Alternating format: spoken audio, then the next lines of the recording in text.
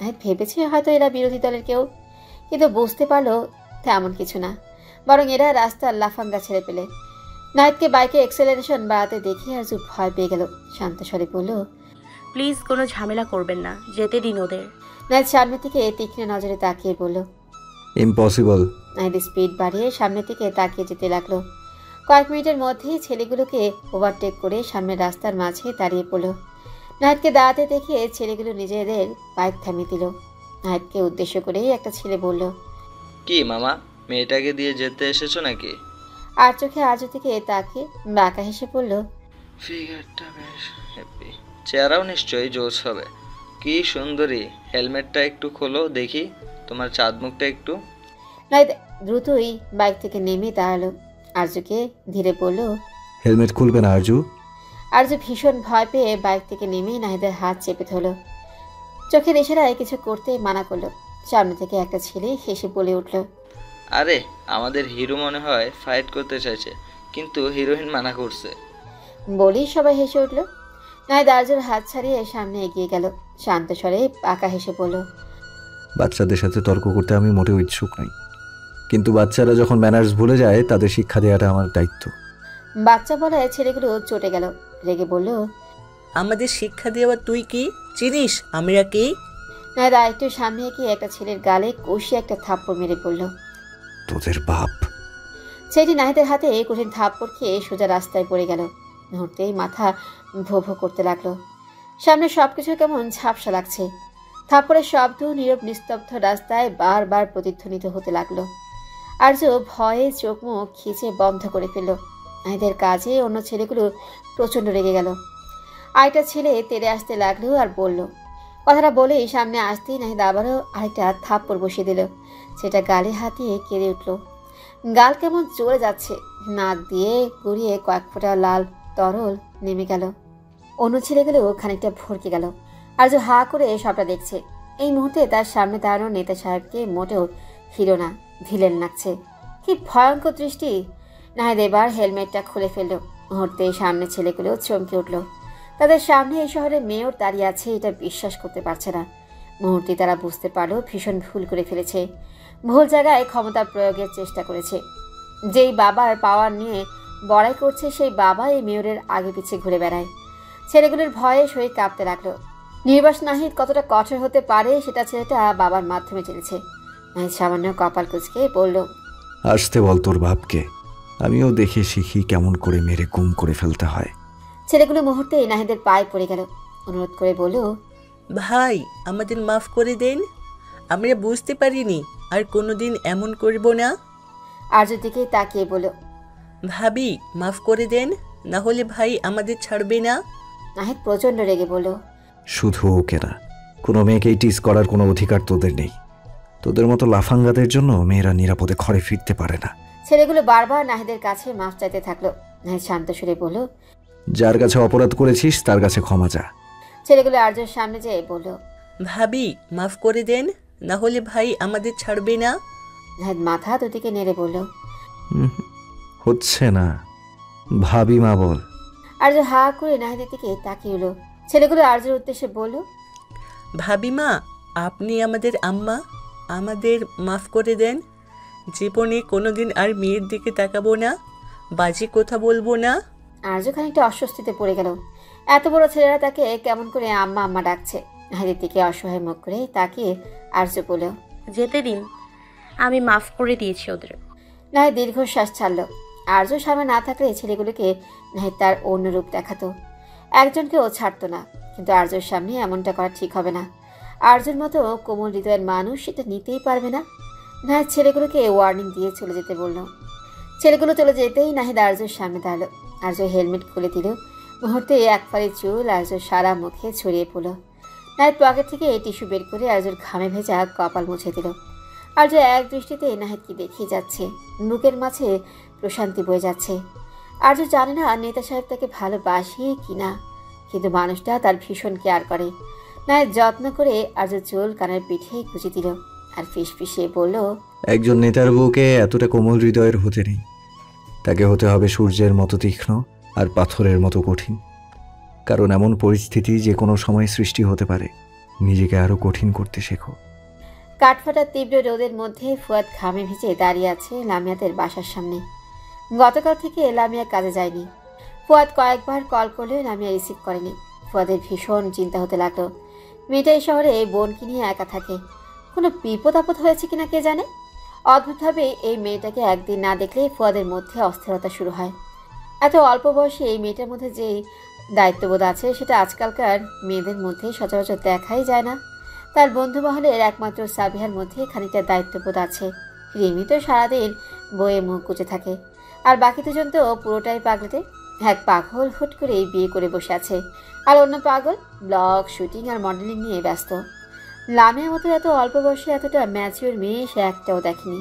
এই একটা বিষয়ে ফুয়াদকে বেশ প্রভাবিত করে। তার সকল এক্স গার্লফ্রেন্ডগুলি ছিল ন্যাকার রানী। ম্যাচুরিটির সাথে দূর দূর পর্যন্ত কোনো সম্পর্ক নাই। ফুয়াদ লামিয়াদের বাসার ডোরবেল বাজালো। কিছুক্ষণ পর দরজা খুলে দিল লামিয়ার ছোট বোন লামিসা। ফুয়াদকে দেখে সে চিনতেই পারল না। মেয়েটার কপালে সূক্ষ্ম ভাঁজ দেখে এই ফুয়াদ বুঝতে পেরেছে সেটা। তাই মিষ্টি হাসি দিয়ে বলল, হ্যালো সুইট গার্ল কেমন আছো? লামিসা অবাক হয়ে তাকিয়ে রইল। এত কিউট একটা ছেলে তাদের বাসায় কেন আসলো? তাই প্রশ্ন প্রশ্নগুলো কে আপনি? কাকে চান? ফুয়াদ দুষ্টু হেসে বলল আমি জিনের বাদশা তোমার বোনকে চাই। তাকে নিয়ে যেতে এসেছি। কিশোরী মেয়েটা ফুয়াদের কথা শুনে কিছুক্ষণ হতভম্ব হয়ে তাকিয়ে রইল। মুহূর্তে এই মুখ বিকৃত করে চিৎকার দিয়ে উঠল। ও আল্লাহ বাঁচাও! আমি আপুকে কিছুতেই জিনের সাথে যেতে দিব না। তারপরেই মেয়েটা জোরে জোরে দোয়া উচ্চারণ করতে লাগল। আস্তাগফিরুল্লাহ রাব্বি মিন কুল্লি জাম্বি অতব ইলাইহি লা হাওলা ওয়ালা কুওয়াতা ইল্লা বিল্লাহিল আলিয়ুল আযীম। মেয়েটার অবস্থা দেখে ফুয়াদ ঠোঁট টিপে হেসে পড়ল। মাচা মেয়েটা বেশ ভয় পেয়েছে। লামিয়া বারবার আর চোখে ফুয়াদের দিকে তাকাচ্ছে। এমন অদ্ভুত মানুষ সে জীবনে দেখেনি। বাইরে একজন সামান্য রাঁধুনি দুই দিন কাছে যায়নি বলেই কেউ এভাবে অস্থির হয়ে খবর নিতে চলে আসে লামিয়া জানা ছিল না। এই মানুষটা তার এত পরোয়া কেন করে? কই তার আপন চাচা তো করে না। ভাবনার মাঝে হঠাৎ উষ্ণ স্পর্শে লামিয়ার সারা শরীর কেঁপে ওঠে মনে হচ্ছে সারা শরীর জুড়ে বিদ্যুৎ খেলে গেল। ফুয়াদ আলতো স্পর্শে লামিয়ার কপালে হাত রেখে চিন্তিত ভঙ্গিতে বলল সামনে পরীক্ষা আর তুমি জ্বর বাঁধিয়ে বসে আছো? ফাঁকিবাজ মেয়ে একটা। লামিয়া আবেশে চোখ বুঝে নিল। আজ বহুদিন পর কেউ এইভাবে তার খোঁজ নিল। নাহলে এই দুনিয়াতে কেউ নেই তার অসুস্থতার খোঁজ নেওয়ার। তবে আরও একজন আছে যে তার খোঁজ নেয় কিন্তু লামিয়া সেই মানুষটিকে ঘৃণা করে। সে চায় না মানুষের অস্তিত্ব তার জীবনে পড়ুক। লামিয়া দীর্ঘ নিঃশ্বাস ফেলে চোখ খুলে বলল তেমন কিছু না পরীক্ষার আগে ঠিক হয়ে যাবে। আপনি হঠাৎ এখানে? ফুয়াদ তাকালো লামিয়ার দিকে।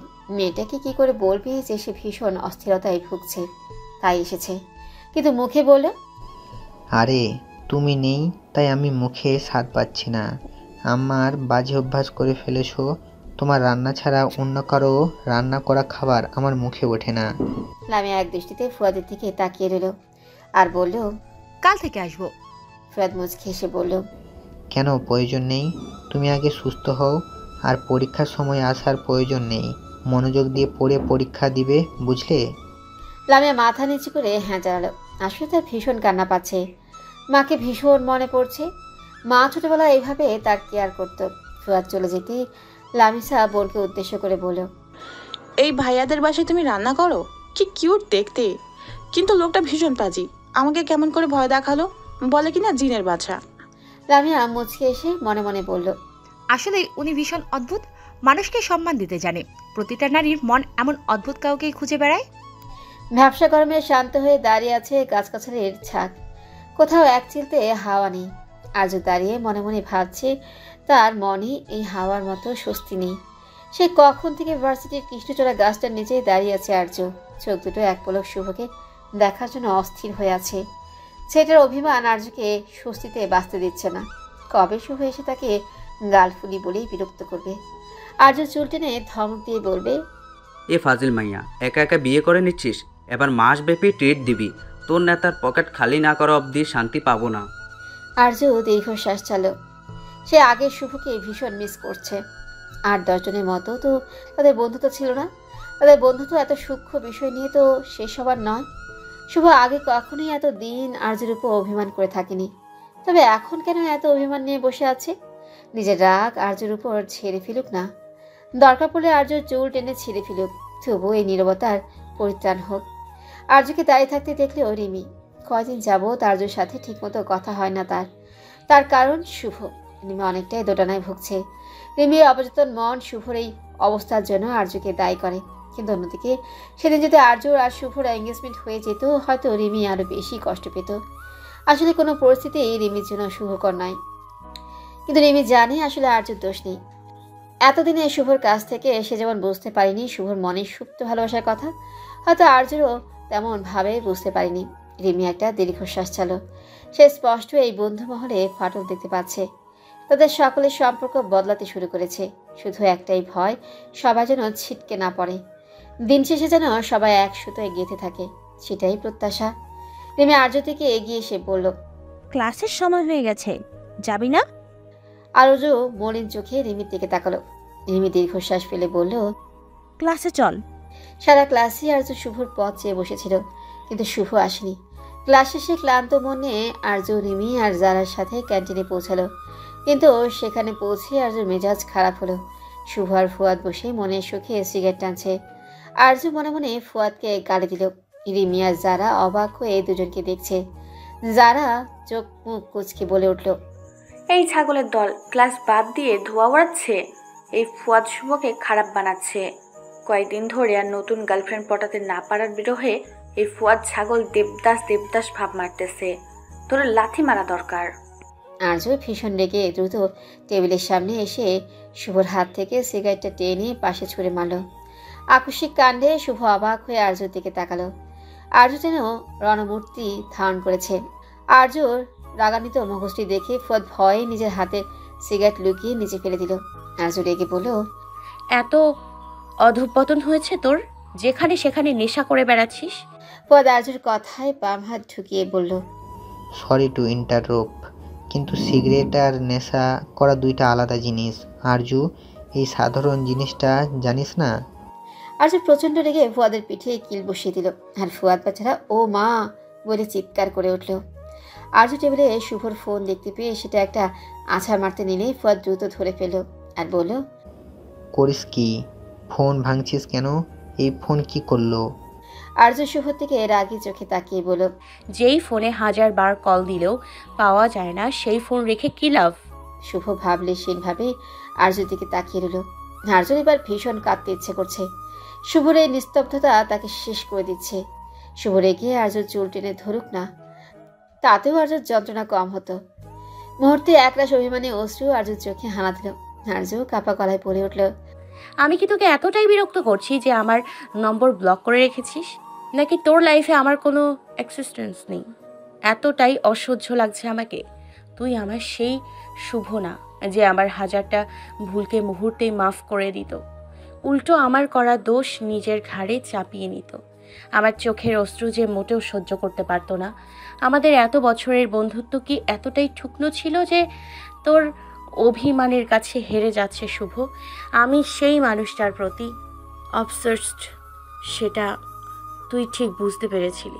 কারণ আমার চোখের ভাষা তুই সবার আগে পড়তে পারিস।